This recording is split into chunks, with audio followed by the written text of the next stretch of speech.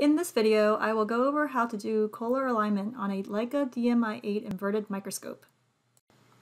Koehler illumination or alignment is critical for best resolution and even illumination for transmitted light imaging. In this DIC example, you can tell that the condenser is not centered, resulting in a suboptimal image. The first thing you need to do is focus on your sample with a 10x or lower magnification objective in bright field. Next, close down your field diaphragm using the buttons on the left side of the microscope.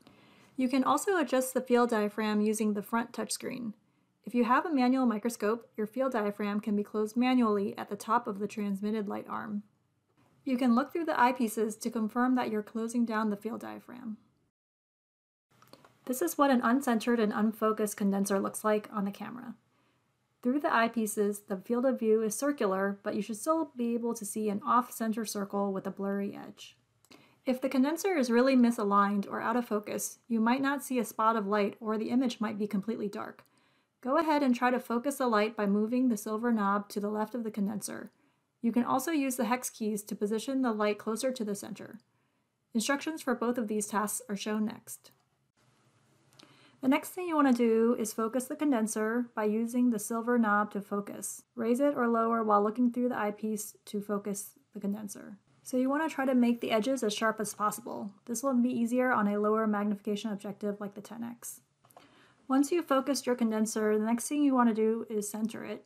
Take the two hex keys stored on the right side of the condenser and place them at the top set of holes of the condenser, not the bottom ones, the top ones. Using the screws, slowly rotate them while looking under the eyepieces until you center them in your field of view. So it should look something like this, where it's roughly centered in your field of view. Try to center the ring as much as possible. As a tip, you can open up the field diaphragm just so that it's right inside the field of view, and then you can use the edges to center your field diaphragm. Step 5 is to open the field diaphragm until you can no longer see the edges. Place the hex keys back in the condenser for storage, and now you're done. Now let's revisit our DIC image to look at the effect of Koehler illumination. Here is the before image, and here is the after image.